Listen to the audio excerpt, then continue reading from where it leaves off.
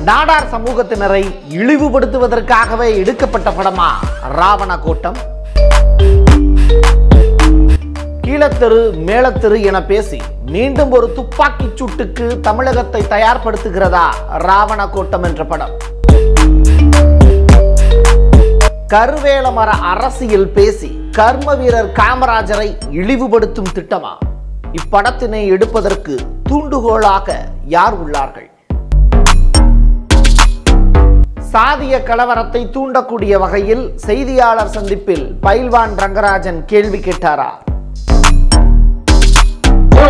கருவேல மர அரசியலுக்கும் தண்ணீர் பஞ்சத்துக்கும் ராவணனுக்கும் என்ன சம்பந்தம்? படத்திற்கு ராமர் கோட்டம் என பெயர் வைக்க இயக்குனருக்கு தைரியம் இல்லாதது ஏன்? வாங்க பார்க்கலாம். இது பிரசாந்த்.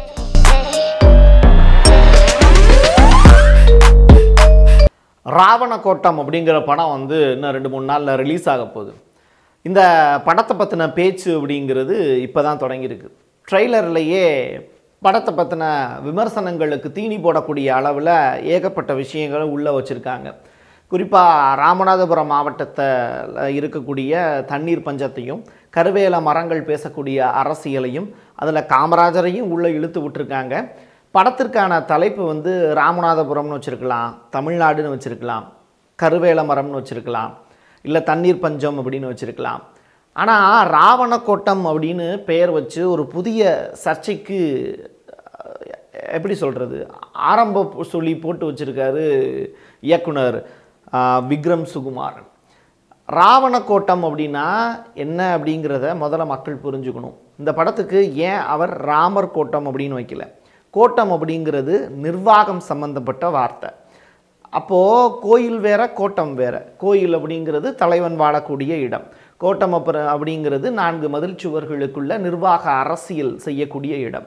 அப்போது ராவணனுடைய கோட்டம் எப்படி இருக்கும் அப்படின்னு இயக்குனருக்கு தெரியுமா? இலங்கை பக்கம் போய் பார்த்துருக்காரா? சிகரியா அப்படிங்கிற மாதிரியான இடங்களுக்கெல்லாம் போய் பார்த்துருக்காரா அப்படிங்கிற கேள்வியும் யதார்த்தமாக மக்கள் மனசில் எழுது.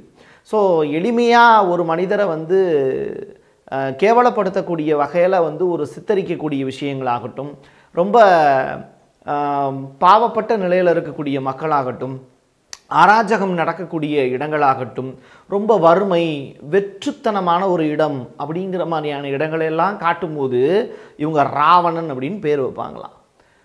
ஏன் அதுக்கு ராமர் கோட்டம் அப்படின்னு பேர் வைக்கிறதுக்கு ஏன் உனக்கு தைரியம் இல்லை அப்படின்னு இயக்குனரை பார்த்து யதார்த்தமான கேள்வியையும் கேட்க வேண்டிய தேவை இருக்குது அந்த மாதிரியான படம்லாம் வச்சேன் அப்படின்னா ஏற்கனவே இந்த படத்தை எடுத்த டேரக்டர் வந்து என்ன மாதிரியான படம் எடுத்திருக்காருங்கிறதையும் இந்த இடத்துல சொல்ல வேண்டியது இருக்குது இதுக்கு ஏன் இவ்வளோ முக்கியத்துவம் கொடுக்கணும் அப்படிங்கிறதையும் மக்கள் யோசித்து பார்க்கணும்.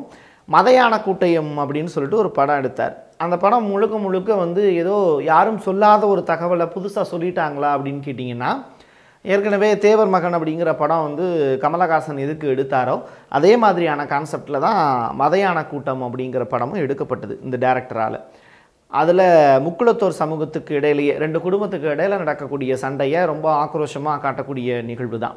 ஸோ சாதி அரசியலை மையப்படுத்தி தான் இந்த ப இயக்குனருக்கு படம் எடுக்க தெரியுது அப்படிங்கிறத ஓப்பன் டாக்காகவே அவர் சொல்லிட்டார். எப்படி முத்தையா அப்படிங்கிற ஒரு கேரக்டர் வந்து முழுக்க முழுக்க சாதி அரசியலை பற்றி எடுப்பாரோ அதே மாதிரியான ஒரு தோற்றத்தை வந்து எடுக்கிறார். இதில் இவர் என்ன சொல்கிறாருன்னா இதில் ஒரு சமூக கருத்து இருக்குது ராமநாதபுரம் மாவட்டத்தில் இருக்கக்கூடிய தண்ணீர் பஞ்சத்தை பற்றி நான் மக்களுக்கு சொல்ல வரேன். அந்த தண்ணீர் பஞ்சம் எதனால் உருவாகுது அப்படிங்கிறதையும் சொல்ல வரேன் அப்படிங்கிறார். கருவேல மரம் அரசியல் பற்றி பேசுகிறார் அந்த கருவேல மரம் அரசியல் பற்றி அவர் முழுக்க முழுக்க படிச்சிருக்காரா அப்படின்னு கேட்டிங்கன்னா அதுலேயும் செய்தியாளர் சந்திப்பில் ஏகப்பட்ட விஷயங்களில் பெண்டிங் இருக்குது அப்படிங்கிற மாதிரி தான் பார்க்க வேண்டியது இருக்குது பைல்வான் நங்கராதன் வந்து ஒரு நாடார் சமூகத்தை சேர்ந்தவர். அவர் அடுக்கடுக்காக கேள்விகள் கேட்குறாரு. கருவேல மர அரசியல் பற்றி பேசுகிறீங்க அதில் காமராஜரை இழிவுபடுத்தக்கூடிய வகையில் நீங்கள் செய்கிறதுங்கிறது தவறு இல்லையா? அவங்க டீசரை பார்க்கும்போது அப்படி தான் புரிஞ்சுக்க முடியுது அப்படின்னு கேள்வி கேட்குறாரு. ஆமாம் காமராஜர் காலத்தில் ஆயிரத்தி தொள்ளாயிரத்தி ஐம்பது வாக்கில் தானே வந்து சீமை கருவேல மரங்கள் கொண்டு வந்து நடப்பட்டது அப்படின்னு. உடனே அதுக்கு பைல்வான் ரங்கராஜன் திருப்பி பதில் சொல்கிறாரு இல்லை அது வந்து ஆங்கிலேயர் காலத்தில் இருந்தே இருக்கக்கூடிய ஒரு விடயங்கள் தான் அப்படின்னு சொல்கிறாரு அதுக்கு ராமநாதபுரம் மாவட்டம் விருதுநகர் மாவட்டத்திலலாம் கரிமூட்டம் போட்டு தான் பெரிய அளவில் பிஸ்னஸ் பண்ணிகிட்டு இருக்காங்க. அதுக்கு பெரிய அளவில் துணையாக இருக்கிறது அப்படிங்கிறது சொல்லலைனாலும் சொன்னாலும் எது உண்மை அப்படின்னா கரிமூட்டம் போடுறது மூலிமா அந்த கரிமூட்டம் போடுறதுக்கு பயன்படக்கூடியது கருவேல மரங்கள் தான். அதை வச்சு தான் ஒரு பீரியடில் அந்த மக்கள் வந்து பசியிலையும் பட்டினிலையும் இருந்தபோது அவங்களுக்கு உறுதுணையாக இருந்தது அப்படிங்கிறது அந்த கருவேல மரங்கள் தான். அப்போது ஆங்கிலேயர் காலத்திலேயே ஆயிரத்தி எண்ணூற்றி சொச்சத்துலேயே வந்து ச- க- நாட்டு கருவேல மரங்களை கொண்டு வந்து தூவினவங்க தான் பிரிட்டிஷ்காரங்க. ஃப்ளைட்டில் வந்து ஹெலிகாப்டர் மூலிமா வந்து விதைகள்லாம் தூணுது அப்படிங்கிற மாதிரியான ஒரு கதைகளும் இருக்குது அது காமராஜர் காலத்தில் வந்து பண்ணாங்க அப்படிங்கிற மாதிரி டைரக்டாகவே இயக்குனர் வந்து ப்ரெஸ் மீட்டில் சொல்கிறார் அப்போது கர்ம வீரர் காமராஜர் தான் தமிழ்நாட்டில் பெரிய பெரிய பாலங்கள்லாம் கட்டினவர். ஒரு படிக்காத மேதை சொல்லக்கூடிய கர்ம வீரர் காமராஜரை இழிவுபடுத்தக்கூடிய நோக்கிலையும் அவருடைய ஆட்சி காலத்தில் தான் தமிழ்நாட்டில் இவ்வளவு சீமை கருமேல வனங்கள் வந்து பரவுனதாகவும் இயக்குனருடைய தாட் இருந்ததுனால பெரிய லெவலில் பைல்வான் ரங்கநாதன் கேள்விகளும் கேட்டிருந்தார். அதுக்கு நாடார் சமூகத்தை சேர்ந்தவங்களும் இந்த படம் ரிலீஸ் ஆகக்கூடாது அப்படிங்கிறதுக்கு பெரிய லெவலில் எதிர்ப்பு தெரிவிச்சிருந்தாங்க. இப்படிப்பட்ட சூழ்நிலையில் கலவரத்தை தூண்டக்கூடிய வகையில் தான் நீங்கள் இந்த படத்தை எடுக்கிறீங்களா? பரமக்குடி துப்பாக்கி சூடு பற்றிலாம் நீங்கள் வந்து இந்த படத்தில் பேசுகிறீங்க அப்படிங்கிற மாதிரியான விவரங்கள்லாம் வரும்போது இல்லை அது இன்னும் பிரச்சனை ஆகலையே அப்படிங்கிறது தான் ஏன் பிரச்சனை ஆகலைன்னு தான் நான் கேட்டுக்கிட்டு இருக்கேன்.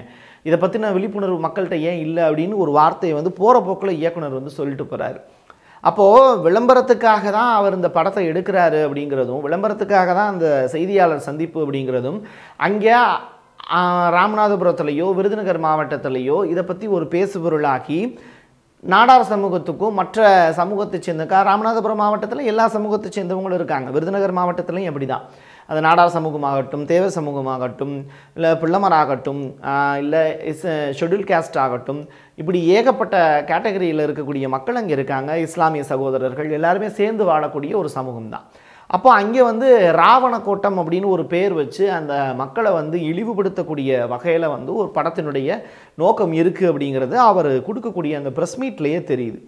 இயக்குனருடைய நோக்கத்துக்கு சாந்தனு ப்ரொடியூசருக்கு உண்டான வேலையை அவர் வந்து பார்த்துட்டு இருந்தார். அதுக்கப்புறம் அவர் நடிகராகவும் ராமநாதபுரம் மாவட்டத்தில் மாடு மேய்க்கிறதுல இருந்து விவசாயம் பண்ணுறதுலேருந்து கபடி விளையாடுறதுல இருந்து முட்டி பேந்து அந்த நிலத்திற்குண்டான பண்பாட்டோடு நாங்கள் எடுத்திருக்கோம் அப்படின்னு சொல்கிறதுலேருந்து ஏகப்பட்ட விஷயங்களை வந்து ப்ரெஸ் மீட்டில் சொல்கிறாங்க இது எல்லாத்தையும் தாண்டி அந்த படத்தில் ரொம்ப முக்கியமாக நம்ம பார்க்க வேண்டியது அப்படிங்கிறது இந்த சமூகத்தை ஒற்றை சமூகத்தை சேர்ந்த மக்களை மட்டும் குறி வச்சு எடுக்கப்பட்ட ஒரு படமாக தெரியுது. இதற்கு தமிழக அரசு ரிலீஸ் பண்ணுறதுக்கு அனுமதி கொடுக்கக்கூடாது அப்படிங்கிறதையும் நாடார் சமூகத்தை சேர்ந்தவங்க பெரிய லெவலில் குரலாக பதிவு செஞ்சுக்கிட்டு இருக்காங்க. ஒரு சமூகத்தை இழிவுபடுத்தி இன்னொரு சமூகம் பெரிய லெவலில் நாங்கள் தான் பெரிய ஆள் அப்படின்னு சொல்லக்கூடிய வகையில் ஏன் படத்தை எடுக்கிறீங்கங்கிற கேள்வியும் இருக்குது ரெண்டாவது அந்த டீசர்லேயே வந்து பார்த்திங்கன்னா கீழத்தெரு மேலத்தெரு அப்படிங்கிற வார்த்தையை பயன்படுத்துறது. அப்போது யார் மேல் ஜாதி யார் கீழ் ஜாதி அப்படிங்கிற ஒரு விஷயத்துலையும் மறுபடியும் ஒரு பரமக்குடியில் ரெண்டாயிரத்தி பதினொன்றில் ஒரு துப்பாக்கிச்சூடு சம்பவங்கள்லாம் நடந்தது. ஒரு ஆதி திராவிட சமூகத்தை சேர்ந்த ஒருத்த ஒரு பையனை வந்து இறந்து போன நிகழ்வில் ரெண்டு சமூகத்தை சேர்ந்தவங்க வந்து இடையில பெரிய லெவலில் பிரச்சனை பண்ணி அதில் காவல்துறை வந்து துப்பாக்கிச்சூடு நடத்தக்கூடிய அளவில் இருந்தது. அந்த மாதிரியான பதட்டமான ஏரியாவை மையமாக வச்சு எடுக்கக்கூடிய படங்கள் அப்படிங்கிறதுக்கு ரொம்ப சென்சிட்டிவான ஒரு ஏரியாவாக பார்க்கணும். அப்படி இருக்கும்போது அந்த மாதிரியான படங்களை திரையிடுறதுக்கு அரசு அனுமதிக்க கூடாது அப்படிங்கிறதையும் நாடா சமூகத்தை சேர்ந்தவங்க குரலாக பதிவு செய்கிறாங்க இது ரிலேட்டடான பெட்டிஷன்ஸ் வந்து ஏகப்பட்டது வந்து போயிருக்கு. அதுவும் கர்ம வீரர் காமராஜரை தான் வந்து டார்கெட் பண்ணி இந்த படம் எடுக்கப்படுது. இதுக்கு பின்னாடி வந்து பார்த்திங்கன்னா நாடார் சமூகம் வந்து உழைக்கக்கூடிய சமூகம். அண்ணாச்சி கடை வந்து போய் நிற்காதவங்க யாருமே கிடையாது தமிழ்நாட்டில். உழைக்கக்கூடிய வர்க்கம் ஒரு காலத்தில் வந்து ரொம்ப பின்புலமாக பின்னோக்கி இருந்த ஒரு சமூகம் உழைச்சி உழைச்சி மேலே வந்து இன்னைக்கு அண்ணாச்சி அப்படின்னு ஒரு வார்த்தையை சொன்னாலே வந்து அவங்கெல்லாம் ரொம்ப கௌரவமான ஒரு இடத்துல இருக்கக்கூடியவங்க உழைத்து பிழைக்கக்கூடிய நபர்கள் அப்படிங்கிற ஒரு பேர் வாங்கியிருக்காங்க. இன்னைக்கு சரவணா ஸ்டோர்ஸ் ஆகட்டும் பெரிய பெரிய மளிகை கடையிலேருந்து படம் எடுக்கக்கூடிய பெரிய பெரிய ஆளுங்க வரைக்குமே எல்லாருமே அண்ணாச்சி சமூகத்திலேருந்து நாடார் சமூகத்திலேருந்து மேலே போனவங்க தான். உழைச்சி மேலே போனவங்க. நாடார் நா நாடாளணும் அப்படிங்கிற ஒரு பெரிய கோரிக்கையை மையப்படுத்தி பெரியார் அவர்கள் பேசின பேச்சுக்கள்லாம் இன்னமும் கர்ம வீரர் காமராஜரை பற்றி புகழ்ந்த வார்த்தைகள் தான். ஒரு இடத்துல கூட காமராஜர் அவர்களை பற்றி நெகட்டிவான இமேஜ் அப்படிங்கிறது தமிழ்நாட்டில் க்ரியேட் ஆகவே இல்லை. பெரிய லெவலில் மக்களுக்காக தொண்டாட்டின காமராஜரையே அரசியலில் தோக்கடிச்சவங்க தானே இந்த மக்கள்னு சொல்லிட்டு இந்த மக்களை தான் இழிவுபடுத்துவாங்களே தவிர காமராஜருடைய அந்த கிங் மேக்கர் அப்படிங்கிற பேர் வந்து அவருக்கு மட்டுமே உரித்தானது. தமிழ்நாட்டில் கலைஞரோட பீரியடில் கூட அவ்வளோ பாலங்கள் கட்டலை. ஆனால் காமராஜருடைய பீரியடில் மட்டும்தான் அவ்வளோ பால பாலங்கள் கட்டப்பட்டது. நிறையா பேச்சாளர்கள் பேசக்கூடிய நிகழ்வுகளில் கூட திருச்சியில் வந்து பெல் அப்படிங்கிற அந்த நிறுவனங்கள்லாம் கட்டப்பட்டது எல்லாமே அரசு நிலங்கள்லாம் கட்டப்பட்டது எல்லாமே உனக்கு தமிழ்நாட்டில் வந்து இடம் இல்லையா? வா உனக்கு வந்து இல்லை எனக்கு வந்து பக்கத்தில் ஏர்போர்ட் இருக்கணும் பக்கத்தில் தண்ணி வரணும் ஏகப்பட்ட விஷயங்கள்லாம் இருக்குது நான் எப்படி வந்து இந்த இடத்துல வந்து க நிறுவனம் தொடங்குறது அப்படின்னு சொல்லிட்டு வந்திருக்கக்கூடிய அதிகாரிகள்லாம் டெல்லிக்கு திரும்பி போகக்கூடிய நிலைமையில் காமராஜரே நேரடியாக வந்து பெல் நிறுவனம் கட்டுறதுக்கு வந்து இந்த பக்கத்தை இவ்வளோ இடம் எடுத்துக்கோ அந்த பக்கத்தில் இடம் எடுத்துக்கோ எனக்கு இங்கே மக்க என் மக்களுக்கு வந்து வேலை கொடு அப்படிங்கிறதுல பெரிய லெவலில் ஸ்ட்ராங்காக நின்று பெல் நிறுவனத்தை கொண்டு வந்தார். அப்படி வந்து இன்றைக்கி திருச்சியில் பெல் அப்படிங்கிற நிறுவனம் வந்து பெரிய லெவலில் பேசப்படுது அப்படின்னா அதுக்கு கர்ம வீரர் காமராஜர் தான் காரணம். அப்படி வந்து இன்றைக்கி தொழில்முறை போட்டியினால் நான் ஜப்பான் போகிறேன் அமெரிக்கா போகிறேன் இத்தாலி போகிறேன் அப்படின்னு சொல்லிட்டு அரசு அதிகாரிகளும் ஆளுங்கட்சியினை சேர்ந்தவங்களும் வெளிநாட்டுக்கு போய் தொழிலை வந்து ஈர்த்துக்கிட்டு வராங்க. ஆனால் அன்னைக்கு காமராஜரே நேரடியாக இறங்கி ஏகப்பட்ட விஷயங்களை வந்து செஞ்சு இந்த மக்களுக்காகவும் இந்த மண்ணுக்காகவும் உழைத்த பெருமைமிகு பண்பாளர்.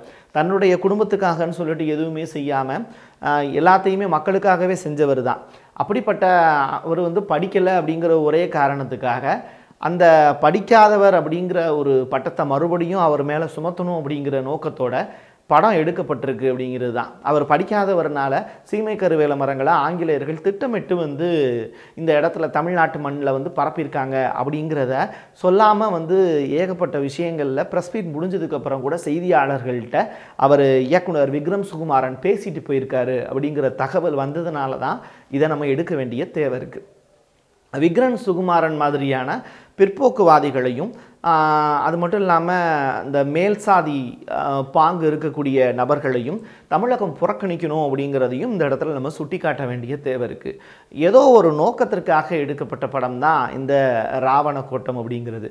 அதற்கான விளம்பர யுக்திகளை எல்லாம் தவிர்த்துட்டு மக்கள் வந்து இந்த மாதிரியான படங்கள்லாம் வெளியில் வரும்போது சிந்திச்சு செயல்படணும் அப்படிங்கிறது. நம்மெல்லாம் ஒன்று நானும் நீயும் வேற இல்லை அப்படிங்கிறத மக்கள் புரிஞ்சுக்கிட்டாங்க அப்படின்னா இந்த மாதிரியான ப திரைப்படங்களை எல்லாம் ஒதுக்கி வச்சுட்டு நம்முடைய வேலையை பார்க்குறதுக்கான அந்த டெய்லி ஷெடியூல் அப்படிங்கிறது என்ன ஆகும் அப்படிங்கிறது தான் நம்முடைய நோக்கம். தொடர்ச்சியாக நாடார் சமூகத்தைச் சேர்ந்தவங்க தன்னுடைய வேலைகளெல்லாம் விட்டுட்டு இந்த படத்தில் வந்து இருக்கக்கூடிய காட்சிகளை நீக்குங்க. அது வந்து காமராஜருடைய பெயரை வந்து சீமை கருமேல வரங்கள் வந்து அவரால் தான் தூவப்பட்டது அப்படிங்கிற மாதிரியான வார்த்தைகள் எல்லாம் சேர்க்காதீங்க. அது வரலாற்று பிழை அப்படிங்கிறத தொடர்ந்து முன்னிலைப்படுத்திக்கிட்டு இருக்காங்க. இதனை தமிழக அரசு ஒரு கூர்நோக்கு சிந்தனையோடு உற்று நோக்கணும் அப்படிங்கிறதுக்காக தான் இந்த பதிவு. ஏன்னா என் கையெழுத்து என் மக்களுக்கானது. மீண்டும் ஒரு நல்ல பதிவில் சந்திக்கிறேன். நன்றி வணக்கம்.